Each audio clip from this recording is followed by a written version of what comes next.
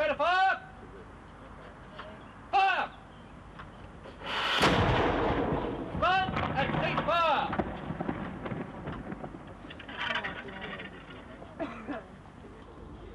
Come with us on an excursion of Kent to an area where sea breezes, muddy creeks and fast-flowing rivers meet the Thames estuary. Maritime Kent. Here the River Medway runs like a silver thread through the tapestry of England's maritime history. On this river great battles have been fought, Roman, Saxon and Norman settlers have left their mark, and for over 400 years, England's men of war, the Navy's fighting ships, were designed, built and launched from these banks. Chatham's famous Royal Dockyard was once the very heart of Britain's sea power. From here, many seafaring heroes have sailed, men like Sir Francis Drake and Lord Nelson, who joined his first ship here in 1770.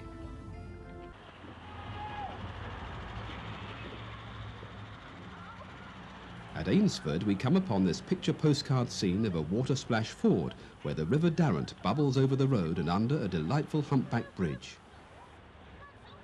The pavilion is sheltered by tall trees.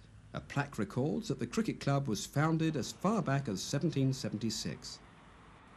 It looks across the village towards the Cricketers' Arms, where many a glass has been raised after a match. Brands Hatch was first opened in 1926 and soon became Britain's leading motor racing centre. Two racing tracks are used. The smaller, known as the Indy Circuit, is 1.2 miles long, while the larger Grand Prix Circuit extends to 2.6 miles. Maritime Kent, a world of ancient hills and valleys, of village greens and winding lanes. Here, where the land meets the sea, the gulls seem to swoop and cry incessantly. We like to think that they're calling you back again.